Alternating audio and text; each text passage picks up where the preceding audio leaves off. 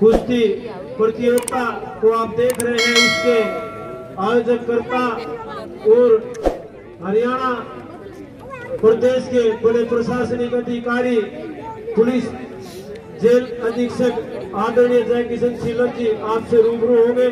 हमारे सम्मानित आयु अतिथि I S Dharmendra ji Sunil Sangwan ji SP jail Rohtak Dhanraj Kundu ji ji roadways और अन्य जितने भी सम्मानित हमारे बीच पहुँचे हैं, हरियाणा कुश्ती संघ के महासचिव आदरणीय राजकुमार हुडा जी या कुश्ती परिवार से जुड़े जितने भी सम्मानित द्रोणाचार्य अर्जुन अवार्डी ओलंपिक पहलवान आए, आप सभी का स्वागत करेंगे।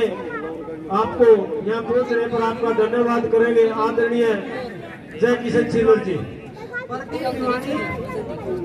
प्रदीप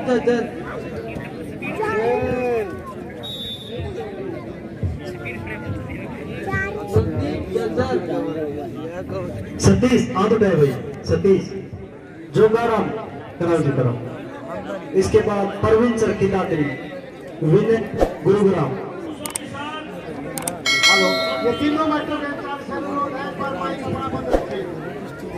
माइक बंद रखें, तीनों के चार